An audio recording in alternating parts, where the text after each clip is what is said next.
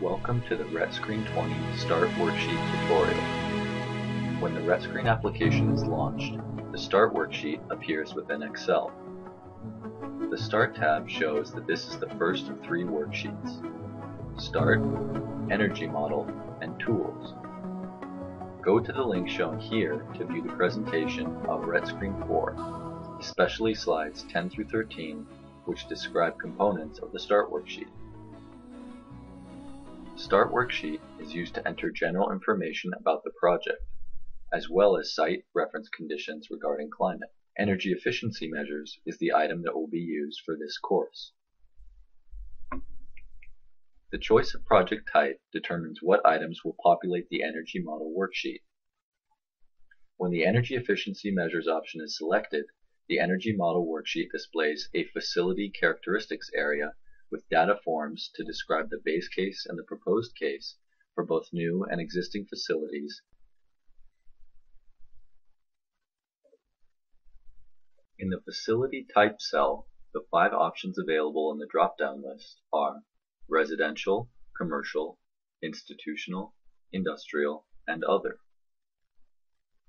In the Analysis Type cell, we select the type of analysis from the drop-down list.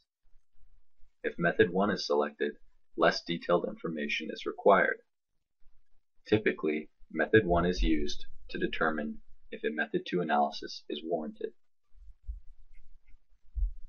The heating value reference cell is used to select the heating value reference from the drop-down list. Heating value is a measure of energy release when a fuel is completely burned. Depending on the composition of the fuel, the amount of steam in the combustion products varies. Higher heating value is calculated assuming the combustion product is condensed and the steam is converted to water. Lower heating value is calculated assuming the combustion product stays in vapor form. Higher heating value is typically used in Canada and the US, while lower heating value is used in the rest of the world. We can refer to the heating value and fuel rate section in the Tools worksheet to calculate the heating value for various fuels on a dry basis. For projects where the proposed case technology does not require any fuel, it is still important to set this value properly. For example, if we want to perform an emission analysis, the heating value reference is used for the baseline fuels displaced. Also, Selecting the heating value reference is important when the base case, proposed case intermediate, and peak load systems require fuel. By ticking the box, we can indicate whether or not the settings are displayed in the worksheet. Note that information in the yellow cells of this section is required to run the model and must be entered. The purpose of this option is to allow us to hide the detailed information once it has been entered. Here we select the language from the drop-down list. Note that we will need to ensure that relevant fonts are installed on our computer to get the full benefit of the multilingual capabilities of RETScreen. Otherwise, some characters might not show correctly in some languages. For example, to correctly view right to left languages or East Asian characters, we will need to go to Control Panel, Regional and Language Options, and Language and ensure that the two boxes under Supplemental Language Support are ticked as Here we select the language of the user manual from the drop-down list. To access the user manual, we should click on the question mark icon shown here. In Excel 2007, the RETScreen menu and toolbar can be accessed by clicking on the RETScreen tab as shown here. The RETScreen User Manual or Help feature is cursor location sensitive and therefore gives the help information related to the cell where the cursor is located.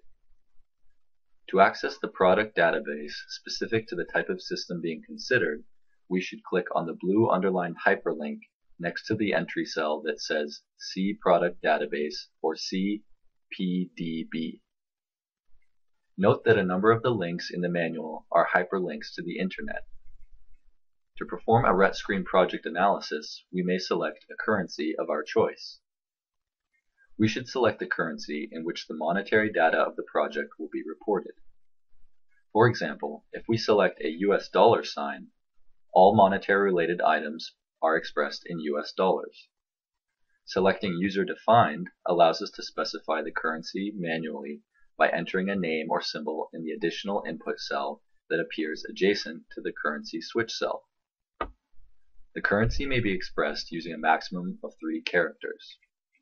To facilitate the presentation of monetary data, this selection may also be used to reduce the monetary data by a factor. If none is selected, all monetary data are expressed without units. Hence, where monetary data is used together with other units, the currency code is replaced with a hyphen. We may also select a country to obtain the International Standard Organization three-letter country currency code. For example, if Afghanistan is selected from the currency switch drop-down list, all project monetary data are expressed in AFA. The first two letters of the country currency code refer to the name of the country and the third letter to the name of the currency. Some currency symbols may be unclear on the screen. This is caused by the zoom settings of the sheet. We can then increase the zoom to see those symbols correctly. Usually, symbols will be fully visible on printing even if not fully appearing on the screen display. We can choose to view the output of the model in different units by selecting between metric or imperial units from the drop-down list. If we select metric, all output values will be expressed in metric units.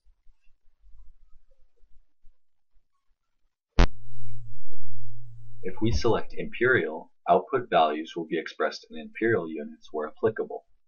In the energy model worksheet, both types of units can be shown simultaneously by ticking the Show Alternative Units checkbox. Note that for input cells that have a unit switch, input values will not be automatically transformed into the equivalent selected units. We must select the units preferred for each input cell and ensure that values entered in input cells are expressed in the units shown. The Site Reference Conditions section describes the project site in terms of geographical location and climate conditions. In this cell, we can enter the climate data location with the most rep representative climate conditions for the project. We should consult the RETScreen Climate Database for more information. Note that we have to either select a climate data location via the climate database and paste the data to the worksheet, or enter the climate data manually in the yellow and blue cells displayed when ticking the Show Data tick box. The software allows us to choose units but keep the defaults. By ticking the box, we can indicate whether or not the climate data are displayed in the worksheet. Note that information in the yellow cells of this section is required to run the model and must be entered. The purpose of this option is to allow us to hide the detailed information once it has been entered. In this cell, we can enter the geographical latitude of the climate data location and, the, and of the project site location in degrees measured from the equator. For latitudes north of the equator, we enter positive values and latitudes south of the equator, negative values. We can consult the RETScreen Climate Database for this information. The latitude of the climate data location can be pasted into the spreadsheet for the climate database. If the latitude of the project is unknown, then the latitude of climate data location can be used as an approximation. Here we can enter the geographical longitude of the climate data location and of the project site location in degrees measured from the Greenwich meridian for reference purposes only. Longitudes east of the Greenwich meridian are entered as positive values, and longitudes west of the Greenwich meridian are entered as negative values. We can consult the RETScreen, RETScreen Climate Database for this information. The longitude of the climate data location can be pasted to the spreadsheet from the climate database. If the longitude of the project location is not known, then the longitude of climate data location can be used as an approximation.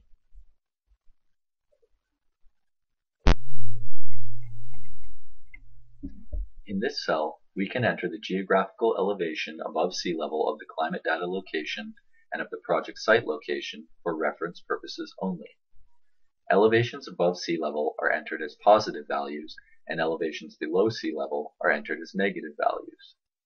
We can consult the RETScreen Climate Database for this information. The elevation of the climate data location can be pasted to the spreadsheet from the climate database. If the elevation of the project location is not known, then the elevation of climate data location can be used as an approximation. In this cell, we can enter the heating design temperature, which represents the minimum temperature that has been measured for a frequency level of at least 1% over the year for a specific area. Typical values for heating design temperature range from approximately negative 40 to 15 degrees Celsius.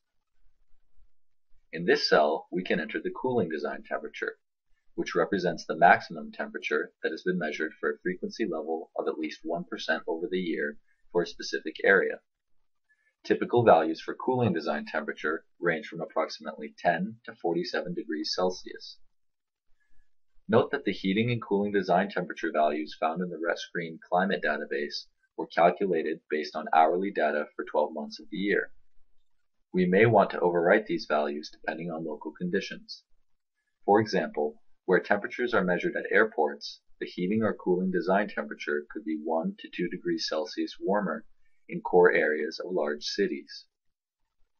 In this cell, we enter the annual Earth temperature amplitude, which is defined as half the difference between the maximum and minimum of the Earth temperature at the depth of measurement. It is used to calculate the Earth maximum and minimum temperatures during the year. Depending upon location, the annual Earth temperature amplitude typically ranges from 5 to 20 degrees Celsius for depth of measurement of Earth temperature equal to 0 meters. For instance, Canadian locations typically have an annual Earth temperature amplitude of about 15 degrees Celsius, while US locations have a typical value of about 12 degrees Celsius. The temperature amplitude tends to be higher in cooler locations and lower in warmer ones. For example, a cooler location like Quebec City has an annual Earth temperature amplitude of 15.6 degrees Celsius, and a warmer location like Atlanta has an annual Earth temperature amplitude of 10.6 degrees Celsius.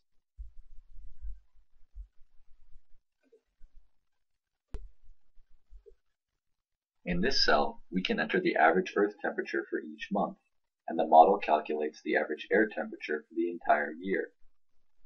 In this cell, we can enter the average relative humidity for each month, and the model calculates the average relative humidity for the entire year. Here, we can enter the amount of solar radiation received on average during one day on a horizontal surface for each month. The values range from zero during polar night months in the polar regions to values around 8.5 kilowatt hours per meter squared in temperate climates during summer months. The model calculates the average daily solar radiation on a horizontal surface for the entire year. In this cell, we enter the average atmospheric pressure for each month. The average atmospheric pressure typically ranges from 60 to 103 kilopascals.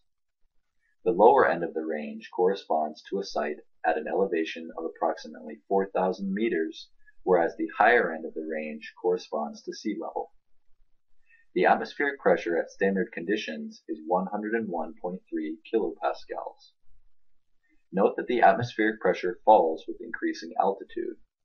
Up to 5,000 meters altitude, the mean atmospheric pressure, P, at an altitude of z meters above sea level can be estimated through the following formula, where P sea level is the atmospheric pressure at sea level. The model calculates the average atmospheric pressure for the entire year. Here, we can enter the average wind speed for each month, and the model calculates the average wind speed for the entire year. In this cell, we can enter the average Earth temperature for each month.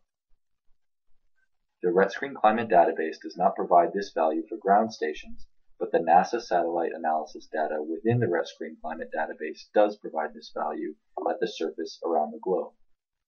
We can also obtain this data from local environmental or weather monitoring stations. The model calculates the average Earth temperature for the entire year. Depending upon location, the annual average Earth temperature typically ranges from below 0 degrees Celsius to 20 degrees Celsius for depth of measurement of earth temperature equal to 0 meters. For example, a cooler location like Quebec City has an annual average earth temperature of 7.4 degrees Celsius, while a warmer location like Atlanta has an annual average earth temperature of 16.8 degrees Celsius.